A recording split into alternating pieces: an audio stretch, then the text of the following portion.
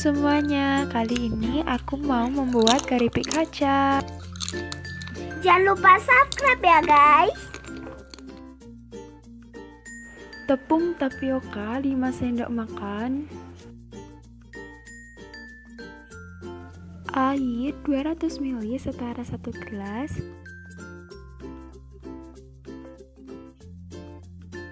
Garam setengah sendok teh.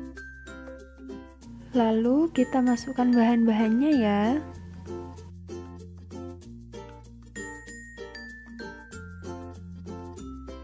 Setelah itu aduk-aduk sampai tercampur.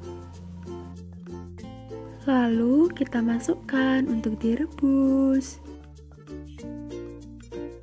Aduk-aduk terus ya sampai mengental.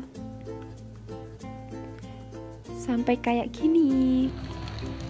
Kita olesi minyak dulu ke plastik.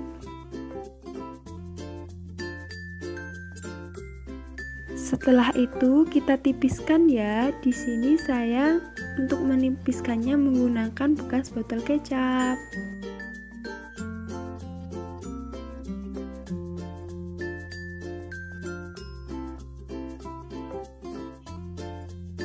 Tipisnya sampai kayak gini ya. Lalu kita jemur. Setelah kita jemur selama 2 jam, kayak gini deh hasilnya.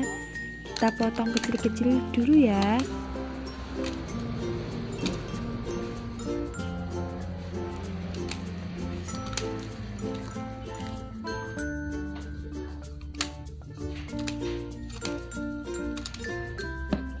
Setelah itu kita jemur lagi selama 3 jam biar tambah kering ya.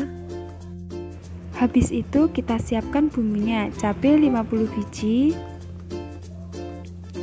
cabai merah 4 biji,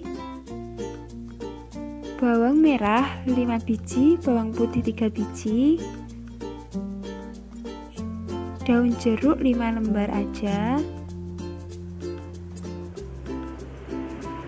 gula setengah sendok teh.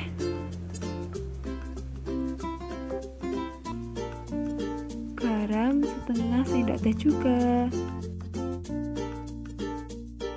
Setelah itu kita potong-potong bawang putih sama bawang merah ya untuk digoreng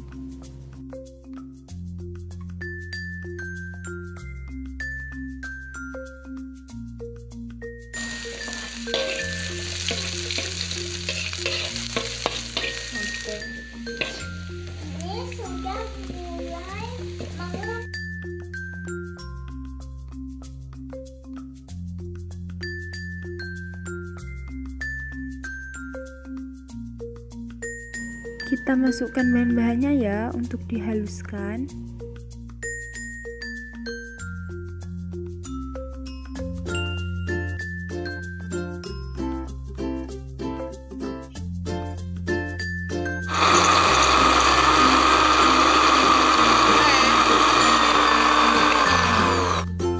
Setelah itu kita masak ya, tapi tanpa minyak.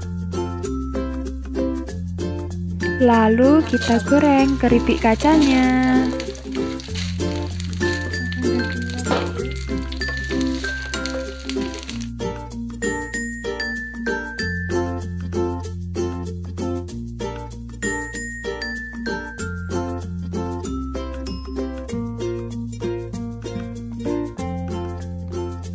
Udah kering nih, tinggal diangkat ya.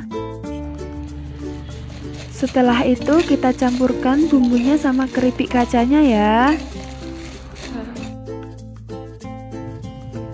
Udah jadi deh. Enak banget kan?